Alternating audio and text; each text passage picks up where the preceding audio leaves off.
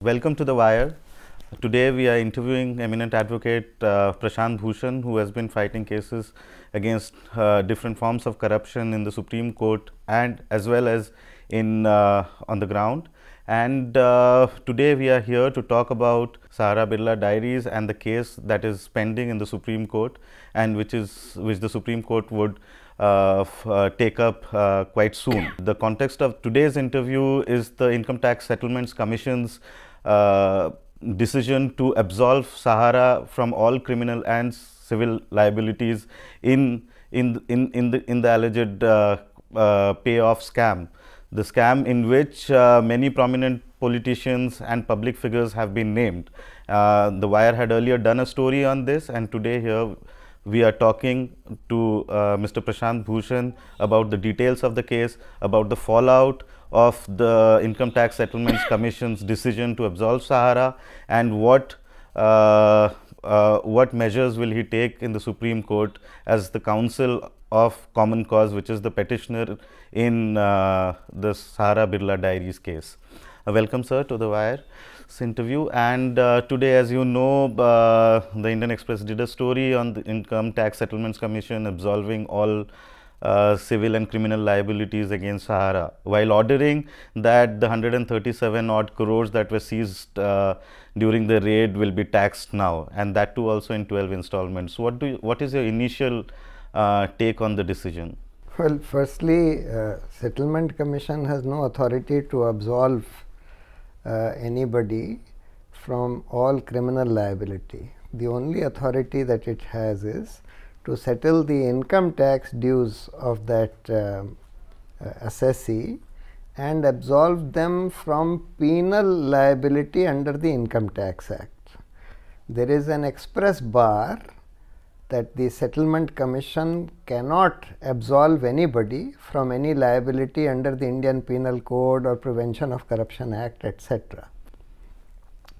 But in this case, you see, the Settlement Commission, uh, even absolving uh, Sahara from penal provisions under the Income Tax Act, that was also very wrong because even that can only be done only if Sahara had come absolutely with clean hands and had made a complete, full and true disclosure of the facts to the settlement commission.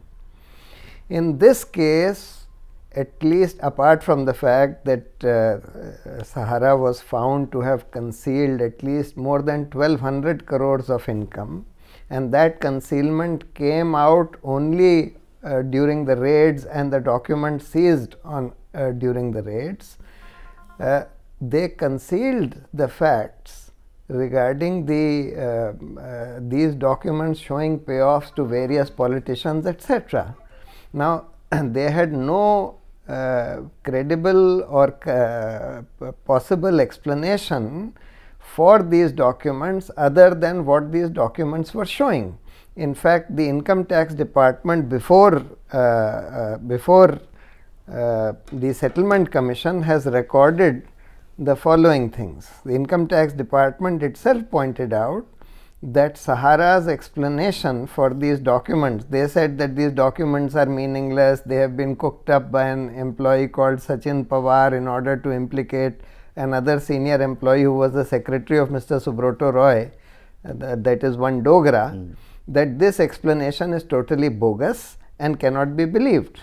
And this is what the income tax department told the settlement commission. They said, on the basis of these seized documents only, the assessee firm has voluntarily surrendered income of 1217 crores.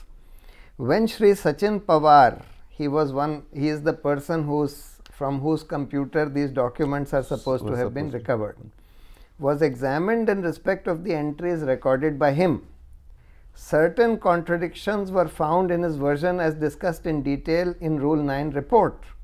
In one statement, he states that the whole exercise was done to implicate Sri Dogra and get him punished from the management. On the other hand, in a later statement, he says that he intended to pass on the information to various government agencies like IT, SIT, etc. When this was pointed out in 245 D4 hearing, that is before the settlement commission, it was stated by the EAR that the second statement was in continuation and addition and in addition to the first one. It is obvious to us that is to the income tax department that there is a direct contradiction here. If information was to be given to income tax or SIT, it would not hurt DOGRA, but the entire management and the group itself. Exactly. Because all of them would be implicated in this bribery payoff scam. Also, it is correctly pointed out by the Principal Commissioner of Income Tax that SIT did not exist at that point of time. Hmm. C. Perusal of transactions recorded in the seized documents show that they have been recorded in a detailed manner with specific amounts and names of persons slash premises, something that appears to be true. Also, it is observed that the so called meaningless transactions have been recorded on a regular basis over a period of 4 to 5 years. contention that it is only for the sake of implicating Shri Dogra seems to be unbelievable. Further, on a comparison of the entries of cash receipts as recorded in the seized documents with the entries in the ledger account of cash impressed given to Sri Sachin Pawar from Marcom, it is observed that all the entries of cash impressed above 1 crore appearing in the books of Sahara India that is Marcom in the ledger account of Sri Sachin Pawar have been recorded by Sachin Pawar in the seized documents on the same dates, suggesting strongly thereby that entries made were not fictitious and cannot be called meaningless. So, income tax department gave very cogent reasons mm -hmm. to show why these entries were correct, which uh, Sahara was saying was false and meaningless, etc., and for rejecting Sahara's explanation. Without discussing all this, the Income Tax Settlement Commission has accepted the explanation of Sahara, said that these documents can't be relied upon, said that uh, all that Sahara has told the Settlement Commission is therefore true. They have made a clean breast and a true disclosure before the Settlement Commission, and therefore the matter needs to be settled, and therefore they need to be absolved from all penal provisions of the Income Tax Act. Hmm. This, to my mind, was totally irregular. I had written to the Settlement Commission on 7th November three days before this order saying that they must uh, not settle this matter because I have filed a complaint. These documents would be needed in a criminal investigation. I am bringing this matter to the Supreme Court and therefore they should not settle. But within three days of my letter reaching them, they passed this order settling this in, in this irregular manner. Mm-hmm. Of course, the settlement commission is really an instrumentality of the central government. Mm-hmm. And in this case, because the central government didn't want any investigation in this matter mm-hmm. uh, and wanted these documents to be handed back mm-hmm. to uh, Sahara, which is a consequence, which can be a consequence or would be a consequence of the settlement commission's order. Therefore, this order has come to be passed. So, you have you are saying that income tax gave cogent reasons, actually three three reasons that it gave gave that Sachin Pawar's uh, uh, statements were contradictory in nature. The second one is that the Excel sheets which mentions all the cash cash received and cash out and cash outflow uh, is actually tallying with each, with each other and also is tallying with its marketing communications department's logbooks. And the third, they're saying that uh, on the basis of these evidence only the uh, Sahara group voluntarily disclosed more than 1200 crores. Correct. On, on the other hand, uh, Sahara group uh, did not provide any evidence to the Income Tax Settlements Commission. So, yes. Uh, which so which brings us to the point is that was Income Tax Settlement Commissions, which uh, the Indian Express also reported that it was a hurried uh, kind of a hearing. Usually they get around 18 months to settle a dispute, but this was done in less than 10 months and specifically after three three days after you having written a complaint to the settlements commission. Yes. So did did income tax settlement commission kind of override its own powers or or uh, kind of it was not within uh, its own it was not within its powers to give such a decision of to absolve all the penalties It was within its power, but Hmm. it's a totally incorrect decision Hmm. because the Income Tax Act, Section 132 4A of the Income Tax Act itself says where any books of account or other documents are found in the possession or control of any person in the course of a search, it may be presumed one that the contents of such books of accounts and other documents are true, that the books of accounts and other documents uh, belong to such persons uh, with whom they have been found, and etc. Now, therefore, when they are presumed to be true and represent the true state of affairs, hmm. it is the onus is on the assessee Hmm. to displace that presumption. Hmm. And in this case, the explanation that they gave was debunked by the income tax department by giving three very cogent reasons to the hmm. settlement commission. Therefore, settlement commission could not have just accepted this cock and bull story hmm. being trotted out by Sahara hmm. and absolved them of all penal provisions under the Income Tax hmm. Act. Of course, they have no power to absolve them of criminal proceedings under the Prevention of Corruption Act or under the Indian Penal Code for bribery because these documents show prima facie bribery of many public servants.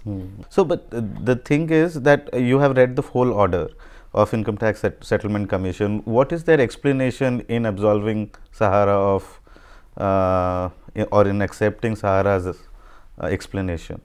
Nothing. They just say that uh, the income tax department has failed to prove the correctness of these documents. It is not for the income tax department to prove. Under the Income Tax Act, they were they are presumed to be true, and the income tax department successfully debunked the uh, uh, the explanation being given by Sahara, which was a cock and bull story being trotted out by them that Sachin Pawar recorded these entries in order to implicate Dogra. Of these uh, entries would have implicated the entire group, and these entries were matching with the entries made in the books of Marcom itself, their marketing communications wing. Yes. So the cash received, Hmm. which is shown hmm. in this spreadsheet, hmm. on one side there is cash receipt, different dates from hmm. Marcom, etc. On the other side, this cash paid, where the dates on which the amount is paid, the amount which is paid, the person to whom it is paid, the place where it is paid, and the person who has gone and delivered the cash. It's all detailed. Now, these two things tally with each other, and the cash received here tallies with the books of accounts of their marketing communication division. Mm-hmm. Yes. There must be that Marcom's mm-hmm. ledger must be showing mm-hmm. cash removed, Hmm. and here it is cash received. My next question would automatically be that what what are the once the income tax settlement commission gives such an order what what are the measures or what are the mechanisms with the IT department where it can appeal now does the matter stand resolved or are there more No, I uh, think the IT department can uh, uh, challenge this order Hmm. in a writ petition. But the problem is that the IT department is also an instrument in the hands of the government. of the government. It's the IT department. It would. It should have been the IT department's duty to have duly asked the CBI that look prima facie a criminal uh, offense of uh, bribery and corruption seems to have been committed, and therefore please investigate the matter under the Prevention of Corruption Act. Register an FIR and investigate, but they didn't do it. Hmm. So therefore, uh, it is most likely that income tax is not going to appeal against this order. does this decision also uh, kind of em- empower Sahara to uh, get back the seized documents? Yes, normally once a settlement commission's order becomes final Hmm. and if no appeal is filed against that by the income tax department, the documents are normally the recovered documents etc. returned back to the party. Mm. And that is what I had written to the Settlement Commission mm. that hmm. these documents would be required for an investigation, for a criminal investigation, mm. and therefore, under no circumstances should hmm. these documents be handed back to Sahara. Sahara. But they have not said anything about hmm. that in their order, which means that if the income tax department fails to appeal, these documents could be handed back to them. It's another matter that copies of these documents must be available for at least photocopies of these mm. recovered documents would be available with the income tax department's records. As I also take it, uh, Birla uh, who's also been implicated in a similar scam, they have also appealed to the Income Tax Settlements Commission. As, as they have also gone to the Settlement Commission. But that, that decision has not come. But in the Birla case, that mm. decision has not, as far as I know, mm. it's hmm. not come. Mm. In the Birla case, we have received four volumes of the appraisal report of the Income Tax Department hmm which contains a large number of very highly incriminating documents, mm. including emails, etc., which show mm. not merely payments to CM Gujarat, etc., mm. but payments to DRI officials hmm. for scuttling an investigation against Birla, payments to uh, officials of the Ministry of Environment for various environmental hmm. clearances, payments to the Coal Ministry, payments to uh, other officials, mm. etc., which are all mentioned in those Mm-hmm. emails, etc. So, so the Sahara Birla diaries, as we get it, has created a political storm in the country with many opposition leading an attack against Prime Minister himself, who has been uh, who has been accused as one of the beneficiaries of uh, both Sahara, Sahara and when he was the Chief Minister of Gujarat. So, uh, and you have also alleged that uh, this is on the at the behest of the central government not wanting to have criminal proceedings against the two companies that the that such an order by ITSC has come. So, uh, now that common cause you have already filed today a writ petition against additional affidavit. Addi additional affidavit against the Union of India for in, and demanded that CBI must take up these issues and or other investigators must take up these issues and start criminal proceedings against. You see what so, you have also kind of given all these uh, factors laid out after the Supreme Court told uh, you to kind of get more evidence for the matter.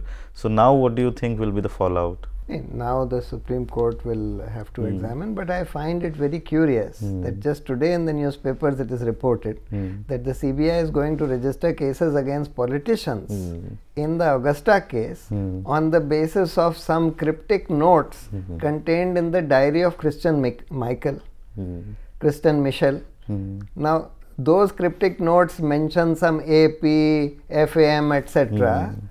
In the Sahara case, the information same thing happened in mm. the hmm. uh, Jain Hawala case. Yes, exactly. That there were just initials and some amounts mentioned. Mm. And that that was found sufficient mm. by the Supreme Court to order a court monitored investigation. Hmm.